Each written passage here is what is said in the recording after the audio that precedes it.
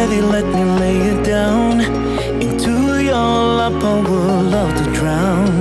I need that story I used to hear to run on and to end